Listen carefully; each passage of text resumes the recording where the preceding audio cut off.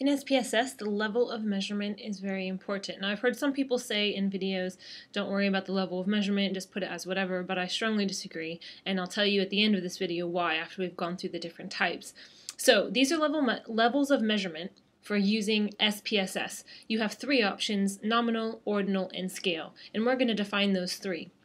Now, all of your variables, as long as you've done quantitative or closed-ended type of questions, generally speaking, can be categorized as either categorical or scale. Now, scale is the word used by SPSS for quantitative type data. I'm going to look at categorical data first. If you've got data that's categories, so for example, from a questionnaire, someone has to tick a response, um, say their age group or their income group, that would be categorical. It's either ordinal or nominal. Now, ordinal means that the categories have a meaningful rank or order to them. So, for example, age groups 18 to 24, 25 to 30, 31 to 35, those are increasing in age. So, I would classify them as ordinal.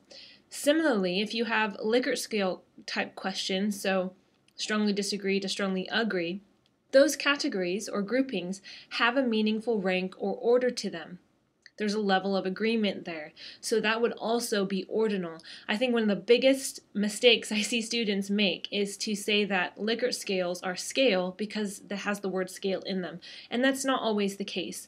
I've seen recently in some textbooks that if the ordinal data can be shown to be normally distributed then you can also classify it as scale. Um, but for a first go, all ordinal variables should be classified as ordinal, and then you can start to do normality tests and analysis and things like that. Now, the second categorical group is nominal. Now, these are categories without a meaningful rank or order to them. So, for example, marital status single, married, divorced, widowed, separated. Those categories cannot be put in any kind of rank or order. Gender, male, female. I can't rank males and females in any meaningful order. Both of these would be nominal because the groups do not have a meaningful rank or order to them. Another common type of question from a questionnaire is a yes no question. Anything that's yes no is typically nominal. There's no meaningful rank or order to the yeses and nos. Let's move over to scale. Simply put, scale data is data that's not grouped. It's numerical data that's not grouped. So for example, on a questionnaire, if I ask, what is your age in years, and you write in your age, say I'm 21, 23, that scale, or what is your height, or what is your weight, or how long in minutes does it take you to commute to work in the morning? What is your gross annual income? All of those open response numerical questions are not grouped, so they are categorized as scale. Now, as I mentioned before in SPSS, there's three options to choose from. Your data is either no nominal, ordinal, or scale.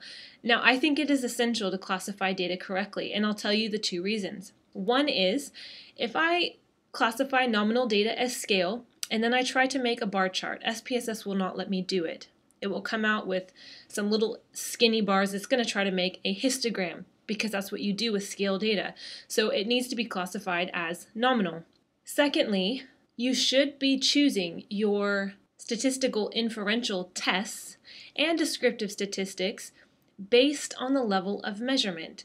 So for example, if I want to look at a significant difference in income between males and females. Income is scale, so I know I could possibly do a t-test. Now, I would obviously need to test the assumptions first, such as normality and equal variance, but the t-test would be my first go-to test. However, if my measurement is not scale, say it's ordinal, I need to use a non-parametric test. So it does depend on the level of measurement of my data.